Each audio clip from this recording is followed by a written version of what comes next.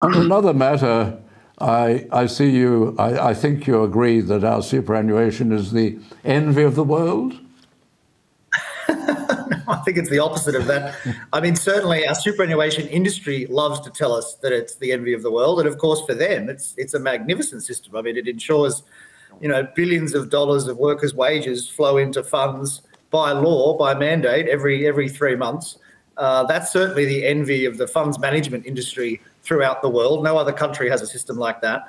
Uh, but from the public point of view, public interest point of view, uh, you know, it's a disastrous policy. And sadly, though, it's it's one Australia's well and truly stuck with. I mean, we've seen successive coalition governments too scared to take it on, even though philosophically, deep down, they know full well all the problems with it. Uh, I mean, was it the I mean, the Turnbull government, I think, tried to rein it in slightly. Certainly, Tony Abbott um, uh, took a dim view of superannuation, but as Prime Minister, he did very little to rein it in. I mean, he did he did commendably uh, delay, from memory, the increase in the superannuation guarantee, and I think it's currently up near ten percent or maybe higher than that. Uh, but nevertheless, it was just a delay, and you know the onward march continues to twelve percent.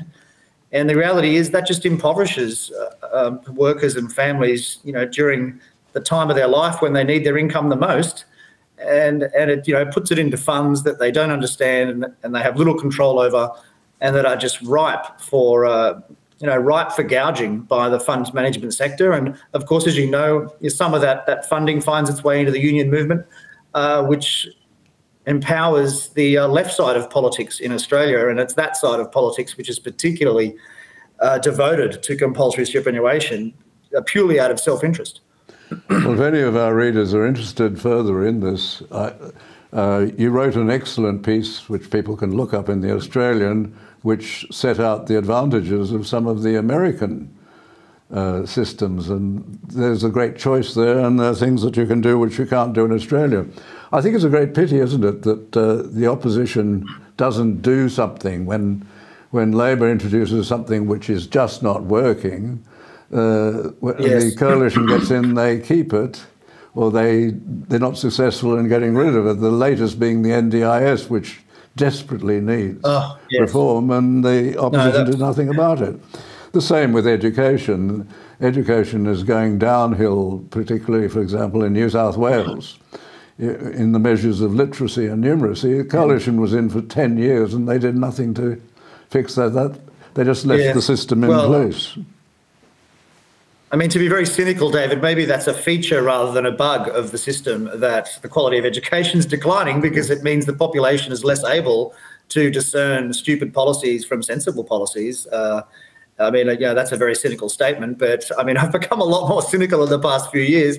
Uh, the standards are declining in the US as well, and some of the blame for that has to be with the public sector unions and and the various, uh, you know, the, sorry, the public sector teachers unions, I should say, to be more specific. Uh, but you know, the broader problem is we live in a society where you know, people's attention spans are shrinking all the time, and it makes it very hard to make a sophisticated uh, case to the public.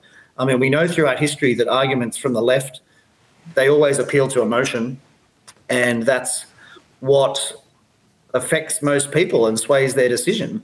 Uh, you know, to understand that something like the NDIS, for instance, is not a good policy requires a bit of thought yes. of more than you know 30 seconds and sadly you know not many people have that time or inclination